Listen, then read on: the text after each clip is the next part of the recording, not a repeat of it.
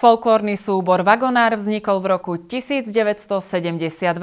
Vytancovalo a vyspievalo sa v ňom už mnoho vynikajúcich folkloristov a aj vďaka nemu sú tradície v našom meste zachované dodnes.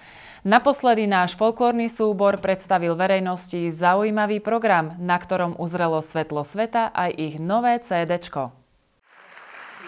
Sviatočne naladený večer a po dvoch rokoch výnimočný aj niečím iným. Takýto bol krst nového CD folklórneho súboru Vagonár. Keďže vieme, že na území Spiskej župy niekedy žili aj e, Nemci, Rusíni, e, Gorali a tak ďalej, čiže mali sme presne tieto nareče, mali sme možnosť ich počuť. Ďalšia netradičnosť je možno v tom zložení účinkujúcich na javisku.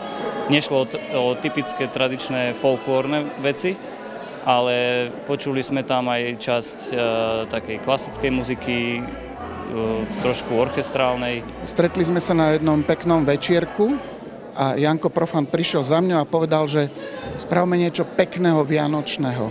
Ale ja to nechcem tak ľudovkársky, ja to chcem tak ináč troška, tak kostolne. No a pre koho? No tak pre nás, pre orchester a ten ti zväčšíme ešte o Lasperanzu a potom speváci budú zo suity kráľa Mateja. Ak si dobre pamätám, tak je to tretie CD v poradí E, folklórneho súboru Vagonár. Koledy sme na CD ešte nikdy nespracovali. Boli, vždy sme mali na CD e, spracované typické ľudové folklórne spevy a, a hudbu.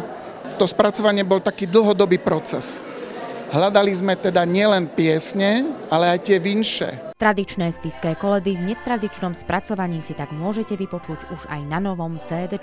Všetky informácie nájdete na webovom sídle folklórneho súboru a zakúpiť si ho môžete aj v Mestskej informačnej kancelárii v Poprade. V súčasnosti má folklórny súbor Vagonár viac ako 60 členov a mnohí z nich tradície zachovávajú už od detstva. Sme veľmi šťastní, že letnička môže byť e, súčasťou takýchto fantastických folklórnych projektov. Chystáme pre Vagonár e, mladých talentovaných spevákov, aj tanečníkov. A verím, že táto naša spolupráca bude pokračovať. Vagonár tvorí hudobná, spevácká, tanečná zložka, ktorá sa vám predstaví už 24.